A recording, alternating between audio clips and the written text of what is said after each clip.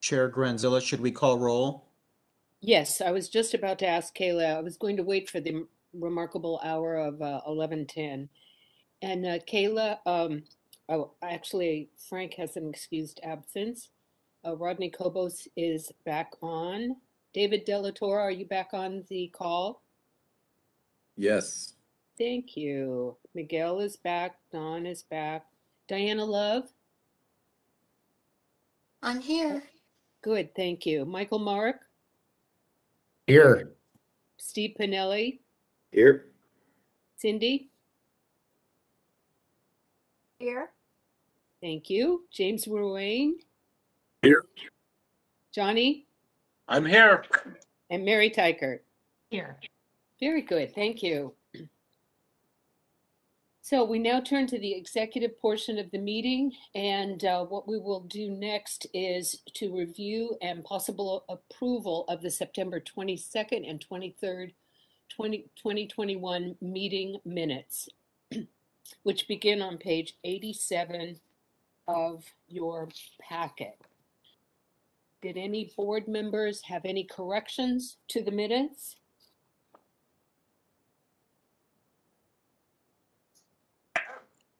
I would make a motion to approve. This is Johnny. Thank you, Johnny. Second. I'll second. Oh, I think Mr. Ruane was first on there, so thank you very much, Johnny, making the motion and Mr. Ruane seconding the motion. And um, are there any comments from board members? Shelley, is there any public comment? I'm not seeing any hand raises at this time, nor requests for comment through the Q and A or the chat. Thank you so much. Kayla, please call the roll. Susan Granzella, Yes? Rodney Cobos, Aye. David De La Torre,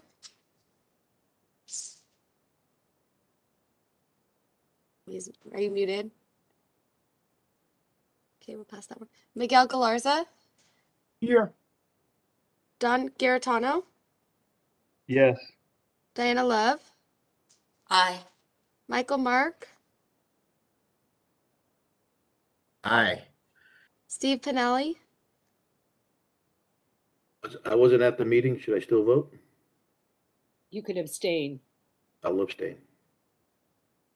Cindy Rich, Abstain. James Ruane, Aye. Johnny Simpson, Aye. Mary Tyker. Aye. Okay, motion carries. Good, thank you, Kayla. Next, we will review and possibly approve the September 29th board meeting minutes, which begin on page 111. Motion to approve. This is Johnny. Thank you, Johnny. And do I have a second? I'll second. Wayne, second. All right. So Diana Love for the second on that one. Is that, did I hear correctly? Yes. Good. Any comment uh, from board members? Shelley, is there any public comment? I am not seeing any requests for comment at this time. All right. Kayla, please call the roll. Susan Granzella, Aye. Rodney Cobos, Aye. David De La Torre. Aye. Thank you. Uh, Miguel Galarza, Aye. Don Garitano, Yes. Diana Love, Aye. Michael Mark, Aye. Steve Pinelli, Abstain. Cindy Rich, Abstain. James Ruane, Aye. Johnny Simpson, Aye. and Mary Teichert. Aye. Okay, motion carries. Thank you. Next is the registrar's uh, report, which includes an update on the tentative board meeting schedule and fee changes that will take effect with the start of the next year. David, I give the floor to you. Well, thank you, Chair Granzella. As we discussed earlier in the meeting, we will need to have a legislative committee meeting around the middle of February. The licensing committee chair, uh, shares the same board members as the ledge committee. So might be an opportunity for them to meet as well. One thing I was thinking of is in a few minutes, you'll discuss the strategic plan. And the strategic plan will need to have uh, uh, dates or implementation dates, and also uh, we'll need the board, uh, board members' direction on how to move forward on the strategic plan objectives. I mention that because it might be uh, very worthwhile if all of the committees were to meet around the middle of February. So we can only address the uh, regulatory rulemaking language for the BESS, but also the strategic plan objectives. The next board, full board meeting, again, as we discussed earlier in the meeting, will be, uh, we'll have Kayla send out a- a doodle poll, survey all of you to see if you want to have that meeting virtual or in person. Uh, We'll be looking at March 28th through 30, 31st for the next quarterly board meeting. And I did want to mention that uh, for the last 12 years, we've met with the Nevada board members. That meeting is generally in June. They are interested in having an in-person meeting with us uh, next June, June of 2022. So that would be the tentative board meeting schedule. I don't know if there's any, any comments regarding that or any thoughts? If- not, then I will move to the, uh, so Chair's pleasure, I'll move to the January 1st, 22, 2022 fee changes. I just wanted to provide the board a quick update.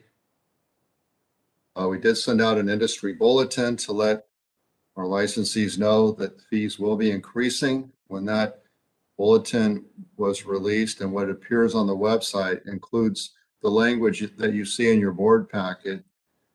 That language is on page 119, but it also includes the fee increases. And as you'll see in the bulletin, we want to make it clear that we don't want to have, we're trying to avoid any type of hurdles to enabling uh, qualified persons to obtain a license. So the fee increase does not relate to the sole owner renewal, but it does relate to other renewals.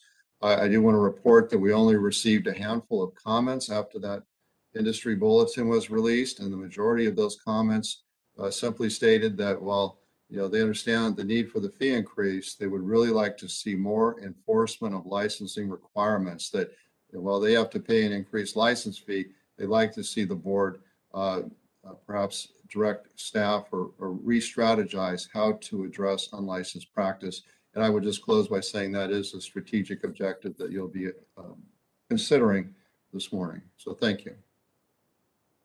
And I did want to add that this year we met with Nevada in September due to the year, COVID. Generally, for the for the last 10 years, it, it all has always been in June. So planning for that, um, we'll take that into account with the doodle and uh, the scheduling of the meetings between now and the end of March. Correct? That's correct. Okay, very good. Thank you. Next on the agenda is the review, discussion, and possible. Chair Granzella, is there any public comment on this item? Thank you. Is there any public co- comment on this item? I am not seeing any hand raises and no requests for comment through the Q and A or chat. All right. Thank you. So the next item is review, discussion, and possible action to adopt the board's 2022 through 2024 strategic plan. A draft of the strategic plan starts on page 123. And since our September 22nd planning session, the Department of Consumer Affairs Solid Training and Planning Solutions Office and our staff have worked to prepare the draft report that is in the board packet for your review. Shelley, our moderator today, was an instrumental part of the team that walked us through the process from start to finish. Uh, we were um, designing, we were creating these strategic plans, not merely just moving them from prior years. I wanted to take a moment to say thank you to Shelley, even though she was not there in person. It was her staff and it was also her team and effort, all the work she put into interviewing individual board members as well. So Shelly, we really appreciate the work you and your team did. during this process, surveying members, staff, stakeholders, facilitating our discussions, and writing this report. We really appreciate it. And Shelly, are there any comments that you'd like to make to the board before we start going through it? Uh, thank you, and I will share your words with my team. Um, not that I can think of, just know that, um, once the plan is approved, then it can be adopted and published. And if there's any edits to it, we can certainly make those as well. Okay, good. So I- I'd like our discussion in the next few minutes to be taken in phases. We will start with the introductory material first and then te- take um, each of our five goal areas in turn. And for those of you who are new to the board, this was a group effort, several hours spent after our meeting in September. And uh, individual groups of board members uh, refined, agreed, uh, discussed all of these. So it was very interesting.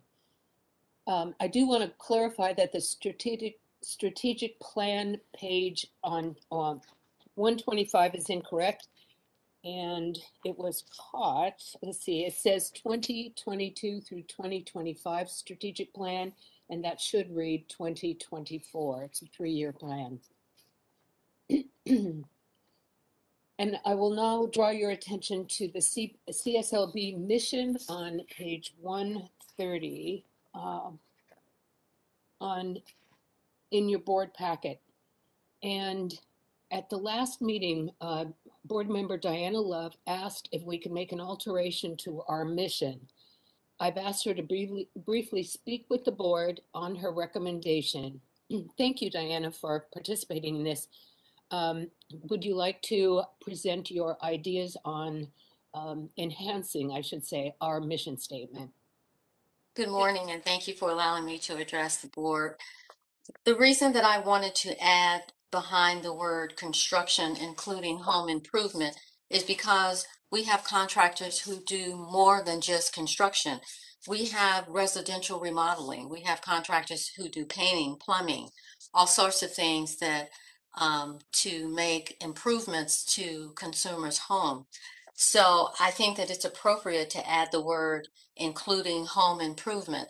And as I was reading down a little bit further, the first paragraph under that, which says the board accomplishes this by, and where it says ensuring that construction is performed in a safe, competent, and professional manner, I would also suggest that we say ensuring that construction and including home improvement is performed in a safe, competent, and professional manner as well. Thank you for allowing me to address you. Thank you. And uh, thank you, Diana, for that idea of adding that. Do any board members have any other comments on the introductory material on page 128 through 137? I know it, it, it was a very interesting reading um, because I don't think we've gone about this in this manner. So I thought it was clear and it was all, all very interesting discussions we had back there. So do any board members have comments on that? I'll ask again. Seeing none. Um, Shelley, is there any public comment on the introductory material in the report? I am not seeing any requests for comment at this time. Okay, great. Members, we're now turning to the goal portion of the report. As we discuss these areas today, please keep in mind that this document will serve as a guide to staff in the next few years, telling them what we expect to see from their work. The appropriate committees will establish the objective target dates. So all of these will be assigned to committees and provide oversight to monitor staff's compliance with the objectives. So we now move to goal number one, and that would be licensing and testing. Do any board members, um, do you have any comments on goal number one? And what, what we'll do is this, we're going to go through and ask for comments on each of the five goals. We have some hints, and then we will vote at the end. So do any members have comments on goal number one? Licensing and testing. All right, and any public member comments on goal number one, Shelley? Not seeing any at this time. Moving to goal number two, the enforcement area on page one thirty-nine. Do any board members have comments on goal number two? Yes, Chair uh, Granzella. Mm-hmm, Just an item um, for a possible correction on item 2.2. Make a suggestion of a grammatical correction. Uh, Research and the scope. It may be uh, better written as research the scope.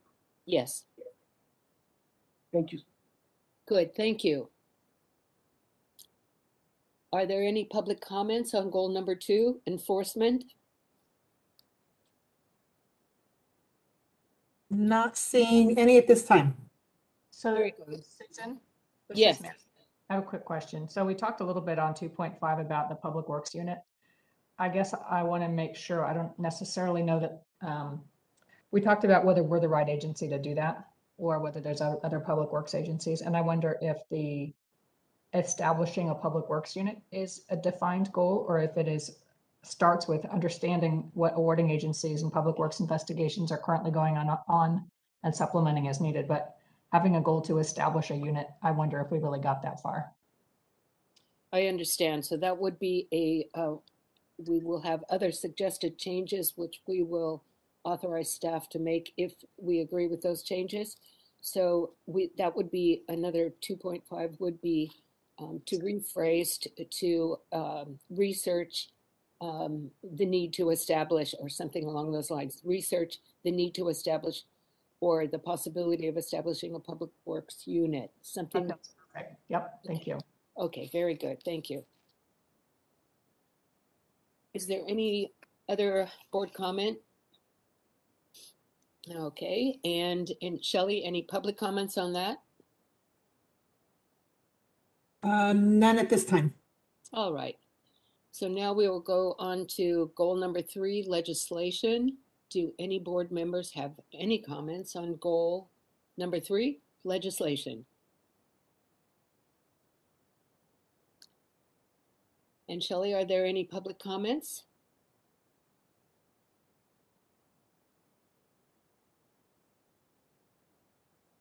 No hand raises and no requests in the Q and A or chat. Thank you, Shelley. Moving on to goal number four, public affairs. Are there any board comments on goal number four?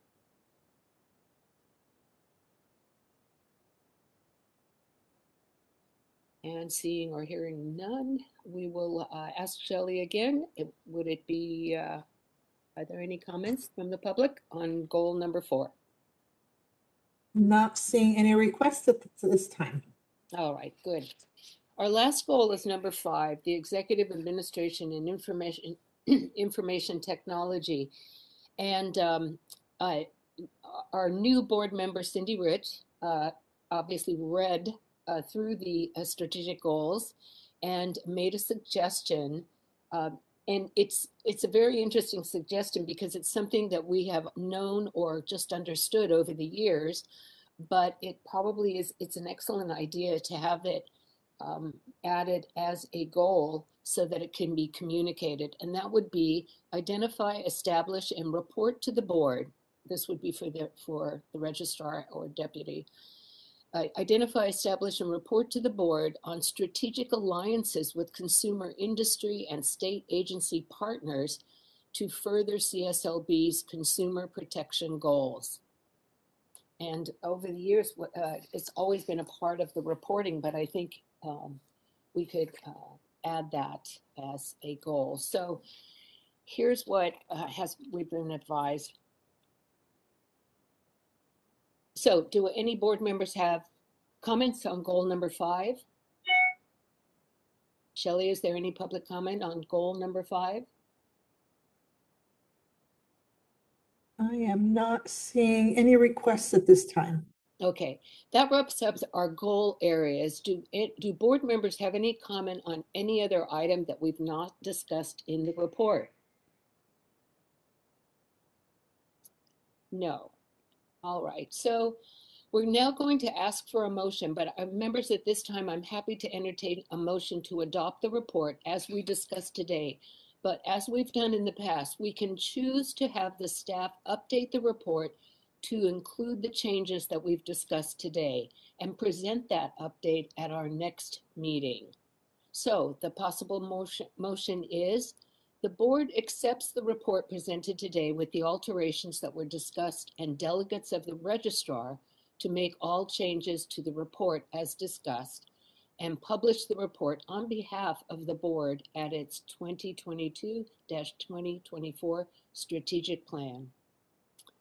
So can I have a motion uh, to, uh, for this, to accept the report and allow staff to, Dave, to direct staff to make the changes we discussed today?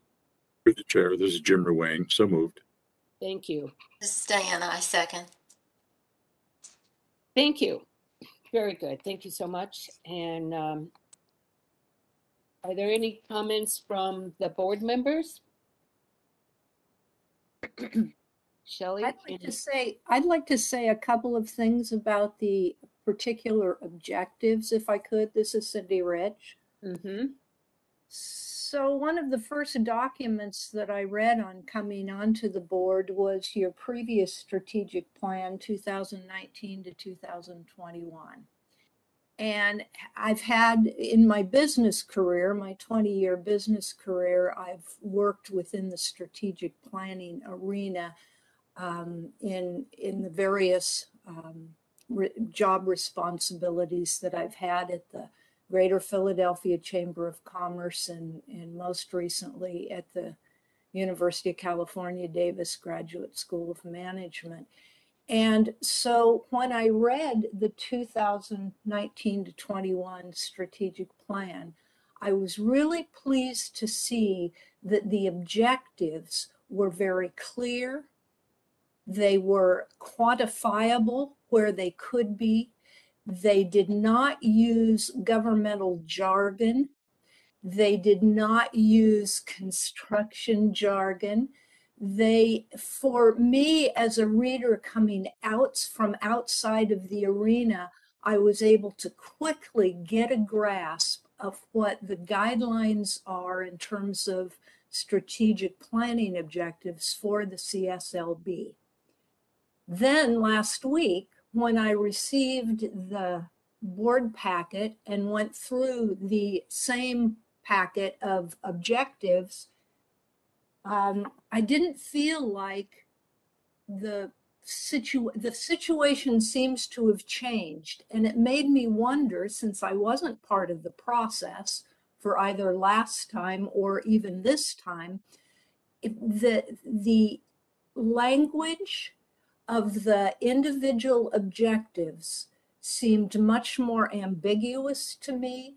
There was much less clarity for me there was a um, um, tendency to use language that was that is um, not as user friendly for those outside of the arena who might be trying to understand what the board is saying in their strategic planning document and consequently i i feel uncomfortable about the adoption of the strategic plan as such.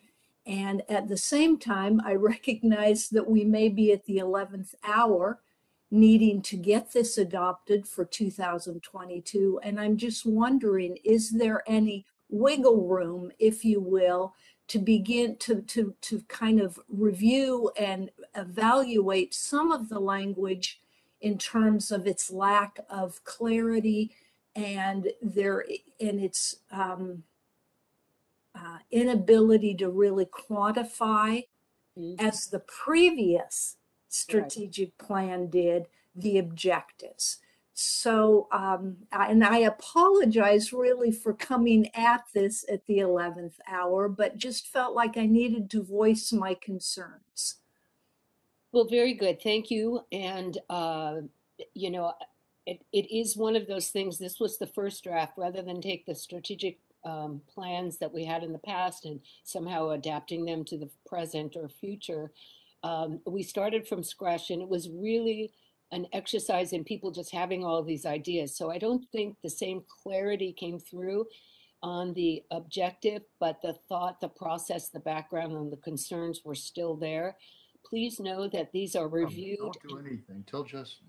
Oh, um, please know that these are reviewed uh, by the uh, individual committees uh, at, on a regular basis, and the strategic plans, both the uh, target dates and the language, the language has to be changed uh, um, as we adapt. So uh, e- we often present to the board, we are changing the, the language in three of the strategic plans, and we move the dates, and here's why. And the bo- bo- board will vote on it. So we really started from scratch, but it, it was a great effort uh, with Shelley's staff. But this w- definitely will be improved, reviewed, and morphed um, as we go through each year. So I hope that helps.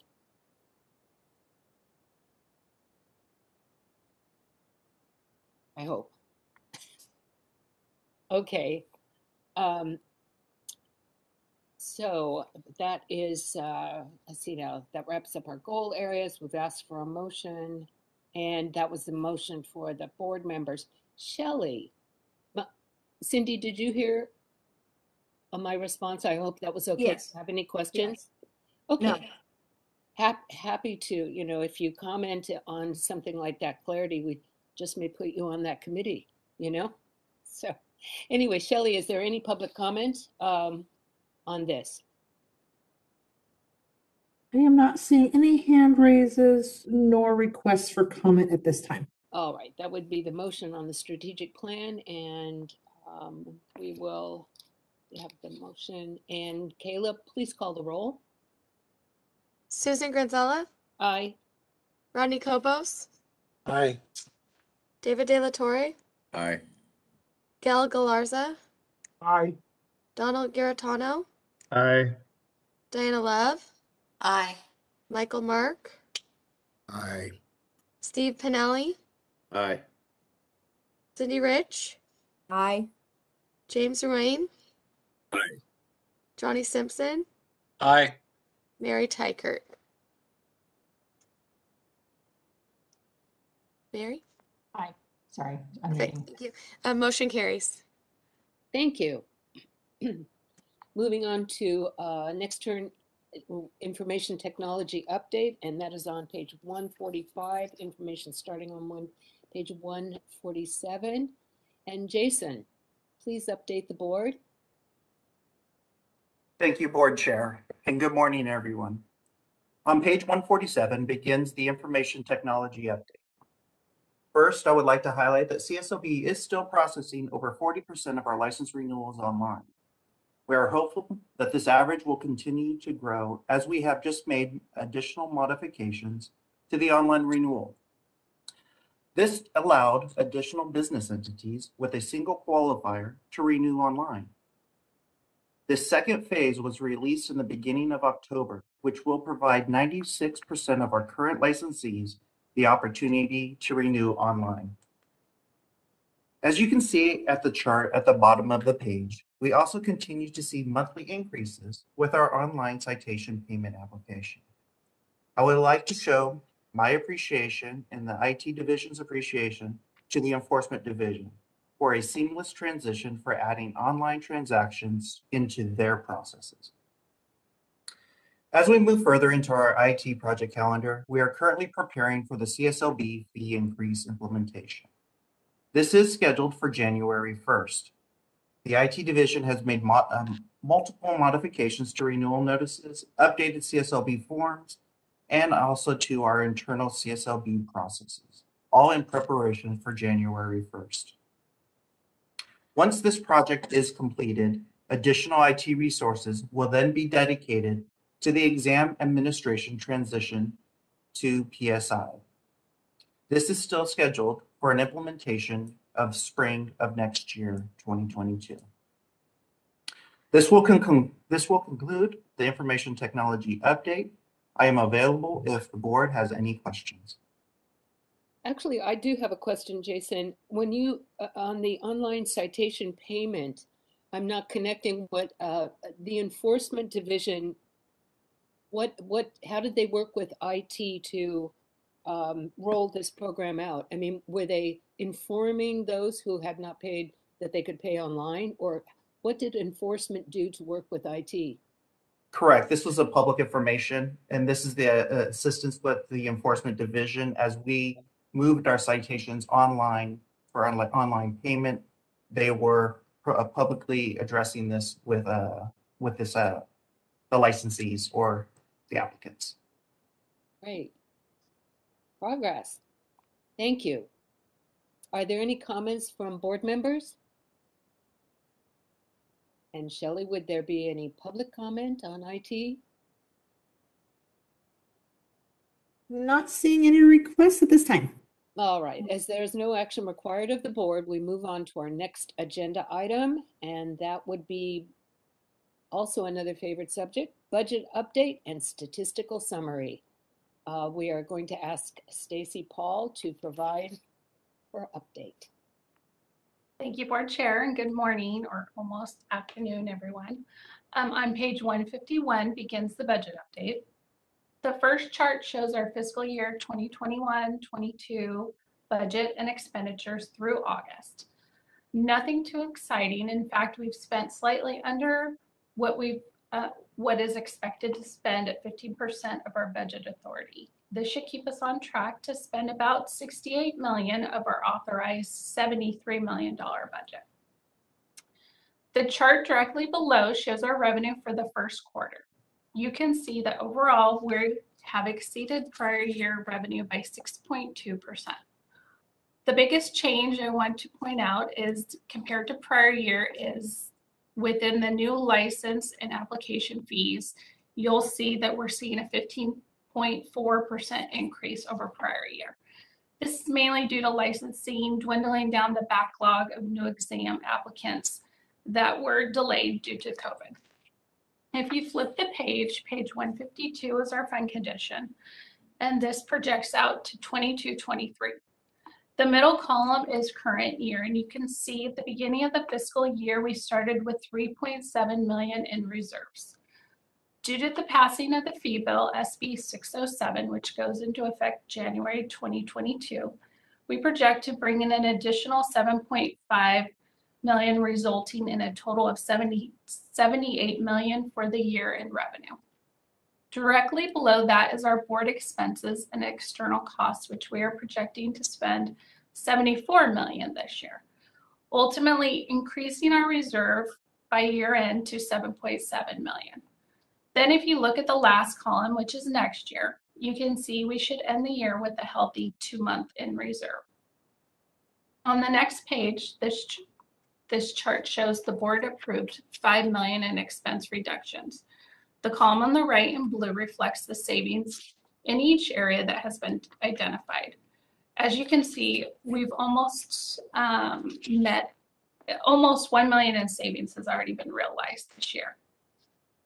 Lastly, let me quickly touch on the statistical summary details on the next two pages. Um, no big surprises for the first quarter of the year compared to last year. We are we are seeing an increase in new applications and the issuance of new licenses. Um, and it's still early to tell about renewals, but since this is typically a non-peak year, we're seeing a slight decline um, of 2% over compared to last two years ago. This concludes the budget update, unless anyone has any questions.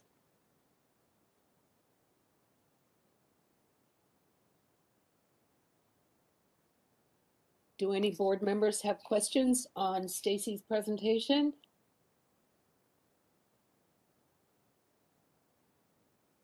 Well, I have to say, since we worked on this in the middle of COVID, um, projected re- reserves looking good at 2.2 is a huge effort uh, that everyone put into effect. You, Dave, everyone, um, and that is it's great news.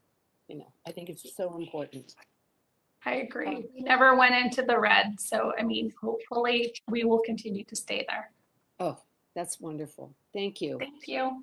So are there I any? too just want, Yeah, Susan, this is Johnny. I too just wanted to comment. Great job, man. That's, uh, everything sort of happened just the way you said it was going to. So appreciate that very much. Thank you. Great work. Thank you, Johnny. I think this all started back when you were board chair. So we were, we were dealing with this quite a few years back. Thank you. His legacy. All right. Uh, are there any other questions from board members? Is there any uh, public comment, Shelley? Not seeing any hand raises or requests in the Q and A or chat.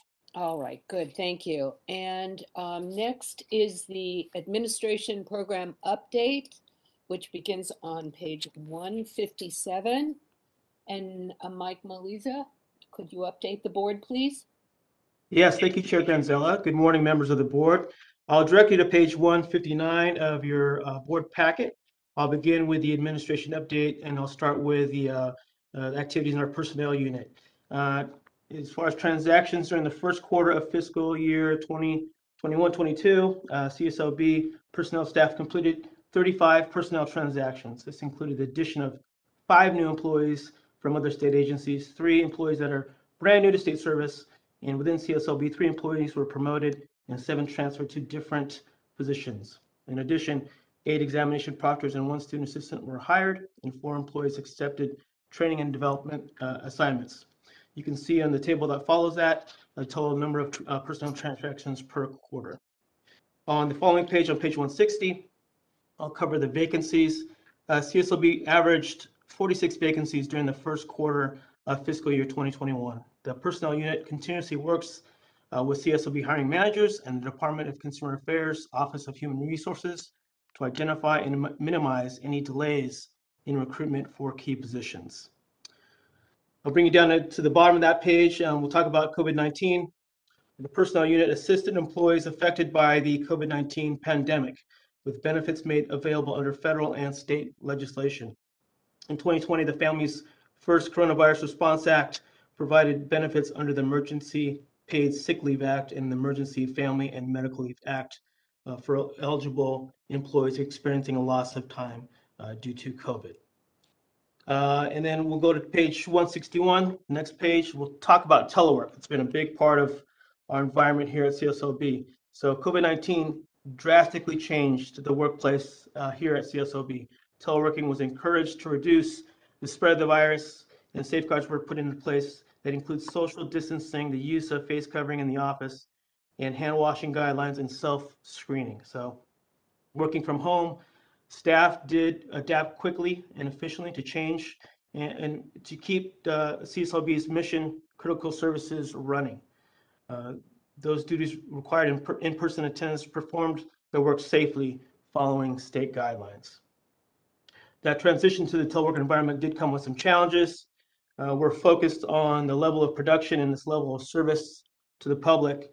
CSLB worked with managers, supervisors, and staff uh, working groups to identify ways to provide better guidelines uh, and assistance to staff and better tools to supervisors and managers to manage the workload. So, uh, you know, even though it brought some challenges, uh, it provided CSLB opportunities to rethink how it uh, transforms its delivery of services and how it can quickly adapt to better service the needs of licensees and com- consumer protection.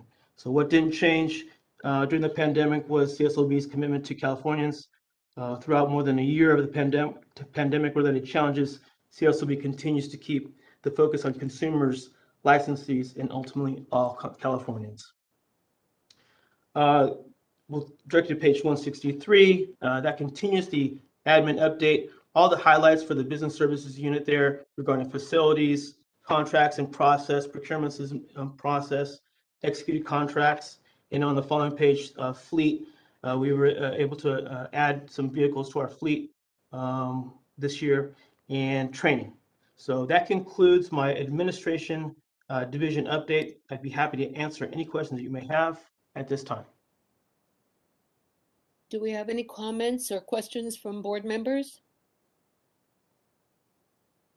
And Shelley, again, are there, is there any public comment? on I the- am not seeing any requests at this time. All right. Well, eleven forty-nine. Um, this concludes our board business for today.